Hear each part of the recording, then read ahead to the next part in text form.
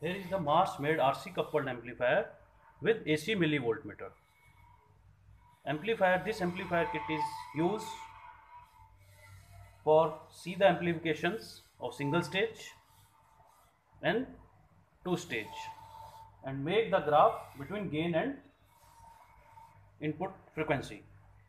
For experiment on this kit we have required function generator as a optional accessory. Here is the input, here is the first stage, here is the second stage. This is potentiometer for voltage selection. Here AC output, mains on off switch and here is the dotted line connect first stage to second stage.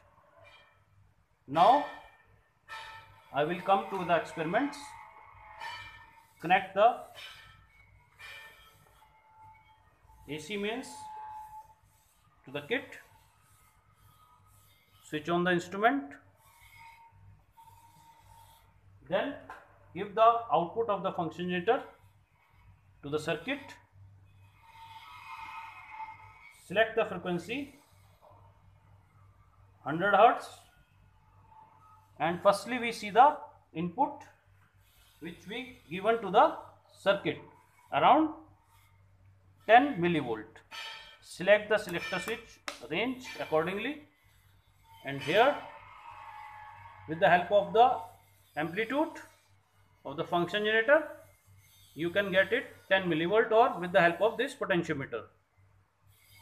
Here is the variation. And this should be input for the base of the single stage amplifier. Now here we have the input voltage and here we have the frequency. To see the output of amplification connect over here change the range because amplification is done by the transistor single stage and here we get the output voltage and here is the frequency. Input voltage we have already set it. Here we get the output voltage. So the table is here. Frequency noted from the here. Input voltage already set it. Output voltage here. And gain you have to calculate output upon input. And make the graph versus gain versus frequency and calculate the bandwidth lower cutoff frequency and upper cutoff frequency now change the frequency and note down the output. Here we get the amplification according to the change of the frequency.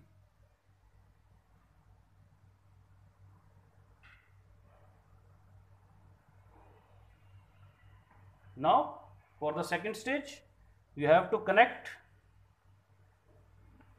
this at the end of the circuit and these two dotted lines we have to connect it. As we get here what is the single stage amplification? Around 0.41 volt at this frequency 146 hertz. Now I have to connect it at the after second stage and connect the first stage to the second stage with this connections.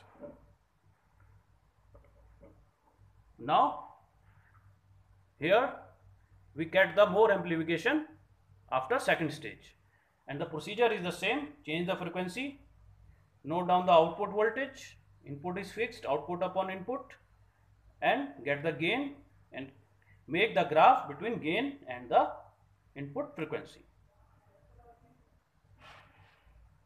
Thank you.